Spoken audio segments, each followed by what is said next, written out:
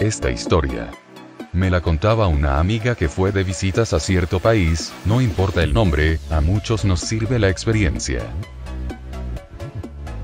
La ambulancia abrió las puertas y desde la camilla Betty escuchó las alarmadas voces del médico y la enfermera.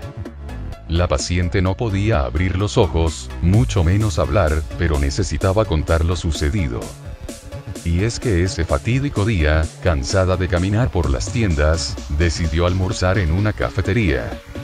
El dependiente, solícito, acudió a tomar el pedido. Hecho extraordinario en los tiempos que corren. Mientras Betty se decidía entre un pollo frito y unos espaguetis, el hombre sacó del bolsillo trasero de su pantalón un pañito mugroso y se dedicó a matar moscas. El trapo de color gris ratón con manchas de grasa exhibía unos artísticos agujeros por los que escapaban divertidas las susodichas.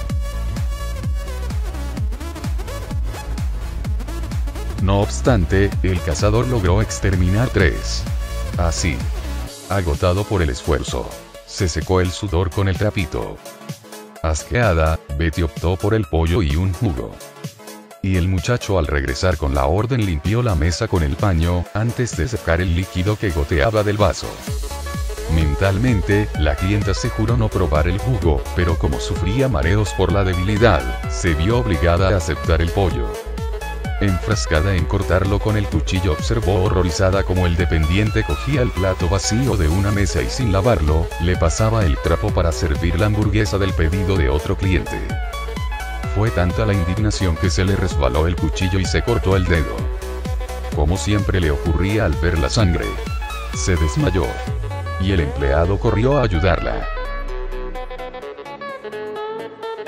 En su nerviosismo, el hombre estornudó y se limpió los mocos con el ripio. Por fortuna.